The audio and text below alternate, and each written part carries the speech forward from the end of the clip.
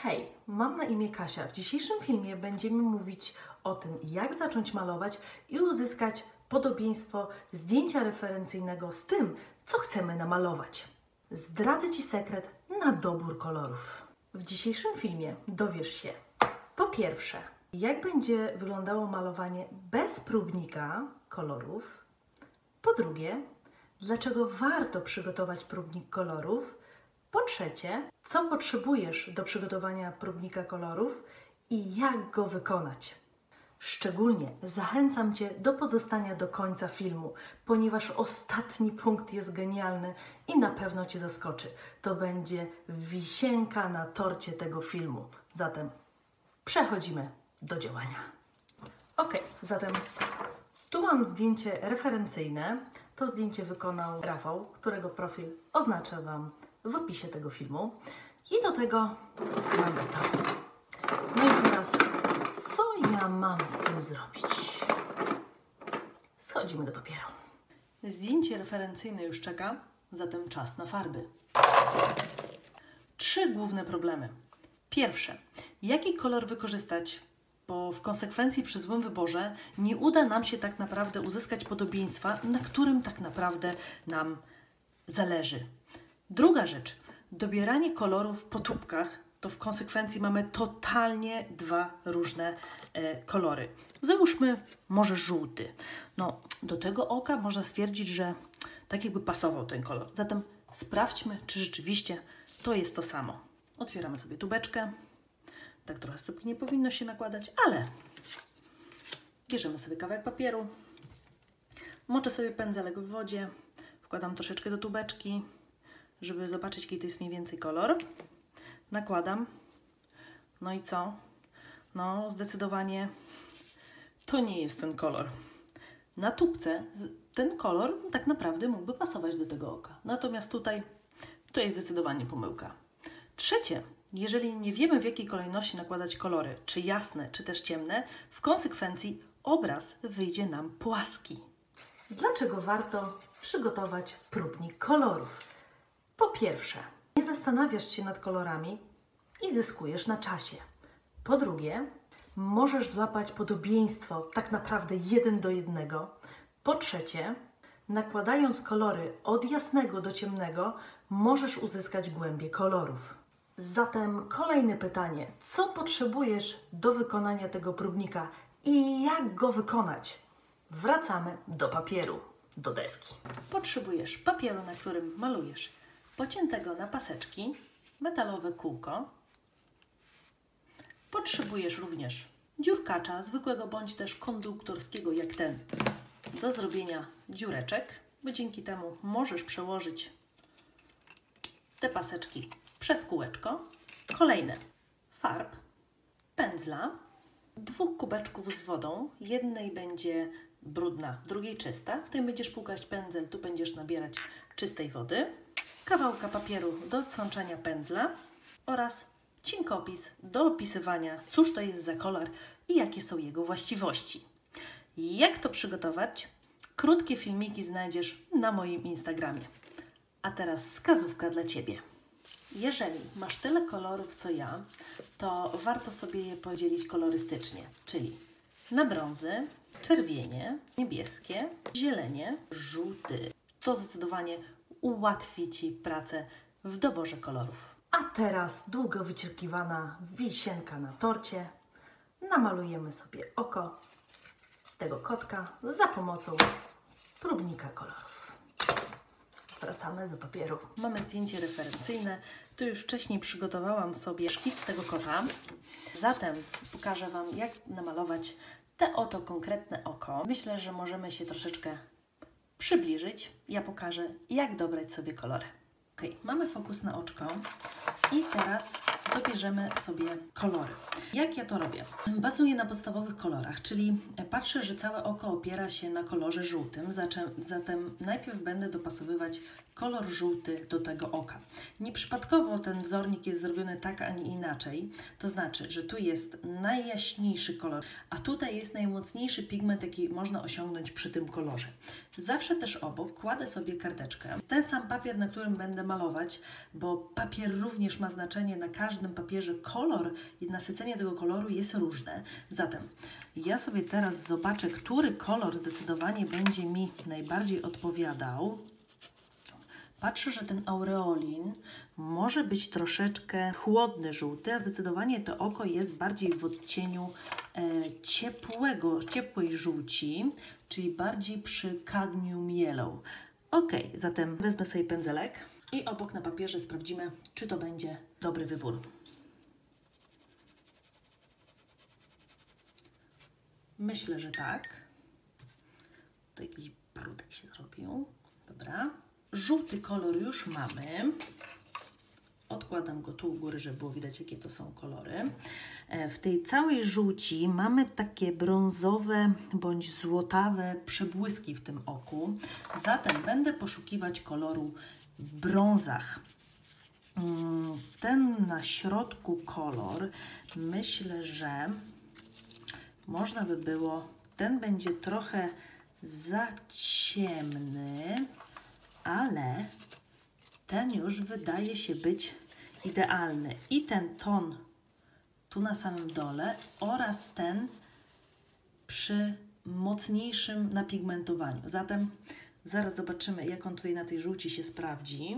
Bierzemy ten kolor, gold ochre i dodajemy sobie jej troszeczkę tutaj obok. Zaraz zobaczymy, jak to będzie wyglądać. No, wygląda super. Dobrze. Zatem dokładamy ją do żółci. Kolejna sprawa. Wokół źrenicy mamy taki zielony ślad, zatem będziemy szukać w palecie zieleni. Wchodzimy do zieleni. Ten, patrzę, jest troszeczkę zbyt, może być zbyt ostry, natomiast ten troszeczkę będzie nam wpadał w żółty kolor, czyli będzie ładne przejście razem z tą żółcią. Ok. No a jeszcze może inny. O, o, o, o, o, już widzę. O, to będzie idealny kolor. Zatem biorę sobie ten kolor i dokładam. O, no, będzie wyglądał cacy przy tej żółci. Dobrze, mamy to. Odkładam. Kolejna rzecz. Będziemy również potrzebować kolorów, aby wykonać tą obramówkę tej żenicy, ale również samego tego oczodołu. Zatem tutaj nie sprawdzi się taki podstawowy, bazowe kolory do wykonywania tego typu rzeczy. Tutaj sprawdzi nam się świetnie na tej obwódce. O, można zobaczyć ten kolor bandykę brown, ten czekoladowy taki brąz yy, oraz taka ciemna czekolada, czyli sepia. Dobra, zatem dorzucamy go do, ich do imprezy. No i kolejna rzecz. Jeżeli chodzi o białe refleksy, to oczywiście w tym miejscu zostawimy papier niezamalowany, ale również widzę tutaj takie niebieskie plamki, wokół oka mamy do czynienia z różem, troszeczkę z fioletem. Zatem y, idealnym kolorem, który tutaj się sprawdzi, będzie mm, taki podstawowy niebieski wręcz, czyli Cobalt Blue. Się skubaniec skleił. Cobalt Blue, który będzie tutaj jak znalazł. Tutaj w tym oczku widać delikatny błękit, więc ten kolor będzie świetny.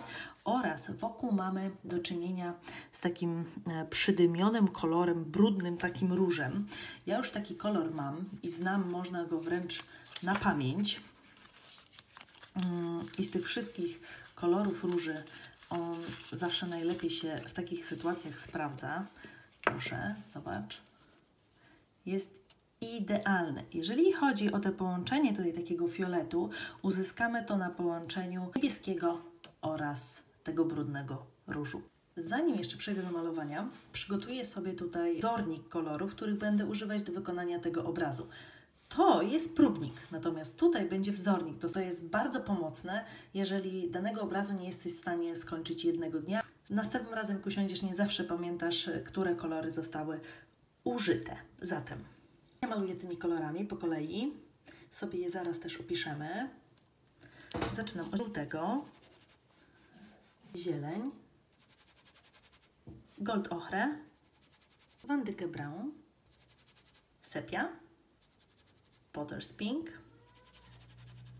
Cobalt Blue. Teraz je jeszcze podpiszemy. Przygotuję się do malowania. Zatem będę pokazywać, jakich kolorów używam i jak to wygląda. Wybiorę sobie do tego mniejszy pędzelek, jest to dwójka. Do detalu i ostrych linii, cienkich linii użyję jedyneczki z Eskody, ale najpierw zróbmy bazę. Pierwszą warstwę przygotuję z żółci, zieleni i złota, bo chodzi mi o osiągnięcie takiego miękkiego efektu, który tutaj mamy. Zatem biorę sobie wodę, nakładam troszeczkę na tą część źrenicy, znaczy tęczówki tak naprawdę. Chodzi o to, żeby to było wilgotne. Maluję mokre na mokre. Biorę żółć, nakładam kolor żółty, zostawiając tutaj wolne miejsce ze względu na to, że tutaj mamy refleks światła.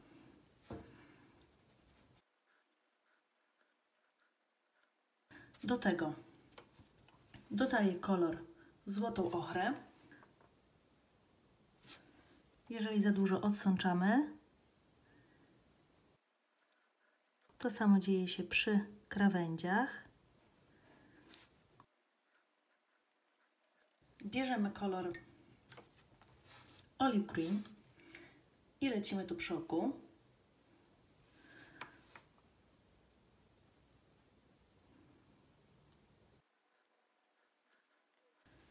Jeżeli gdzieś jest za dużo, opuczymy pędzel, żeby był czysty.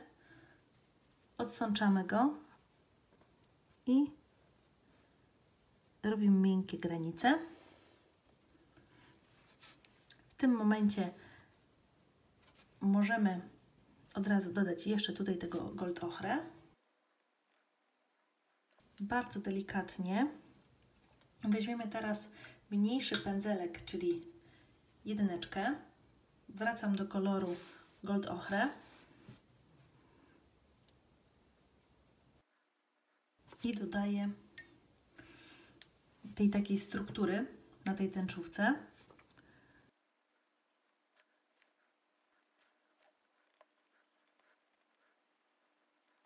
Jeżeli widzisz, że dziś jest za mocno, możesz zawsze zebrać ten nadmiar koloru albo pędzlem, albo odsączyć, zebrać trochę papierem. Ok. Biorę sobie kolor Bandykę Brown, robię obwódkę.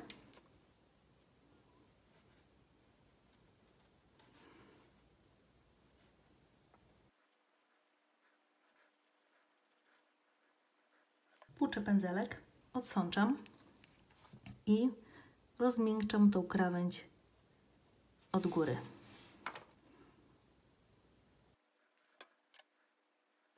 Wtedy pięknie wygładza i bluruje. Dobrze? Bierzemy sobie teraz kolor olive green i dorabiamy sobie tutaj w środeczku uderzamy ostrym końcem pędzelka, tym czubkiem.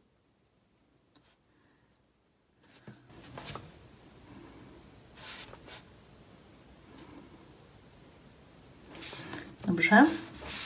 Bierzemy kolor Cobalt Blue. Nakładamy tutaj w środku oka, bo to również się pojawi, zostawiając wolną przestrzeń tam, gdzie pojawia się refleks światła. Dodajemy też tutaj wokół oka.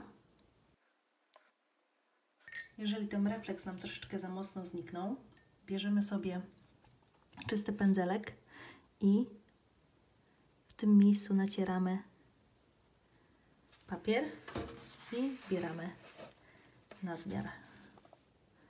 ale również jest inna możliwość, czyli dodać, dodać kontrast większy, czyli przyciemnić tutaj te miejsca wokół tego refleksu światła.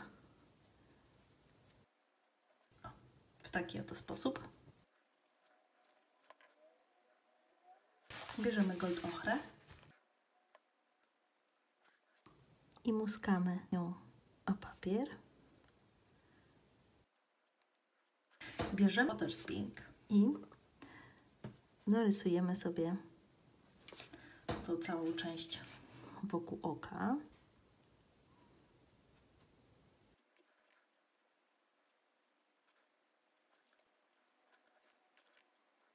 Tutaj, żeby uzyskać ten fiolet, dodamy sobie troszeczkę niebieskiego, czyli cobalt blue.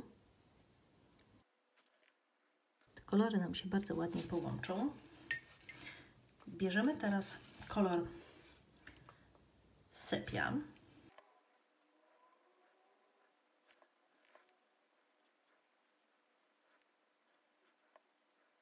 Biorę również tą sepię i nakładam źrenicę oka. Pilnując oczywiście tego kształtu.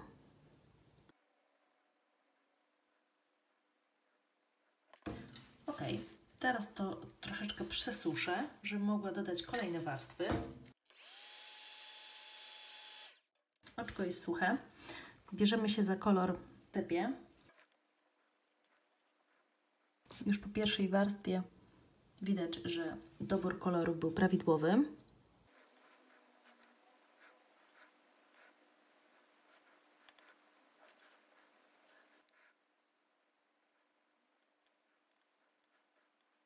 Sobie jeszcze tak wandykę brown tutaj przy granicy oraz gold ochrę. Dodajemy teraz cadmium yellow. Bierzemy wandykę brown i troszeczkę przyciemniamy tą część. Bierzemy olive green, czyli zielony.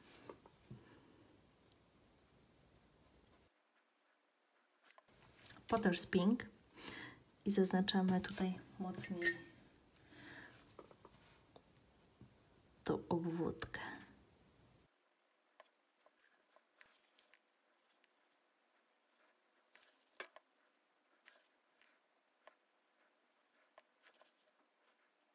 Ok, i teraz, żeby dodać tego ostatniego akcentu, wezmę sobie białą ekolinę.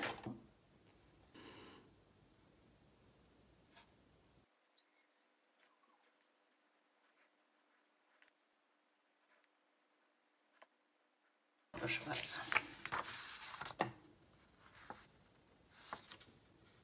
To na dzisiaj tyle. Dziękuję Ci pięknie za Twój czas. Daj znać w komentarzu, czy korzystasz z takiego rozwiązania.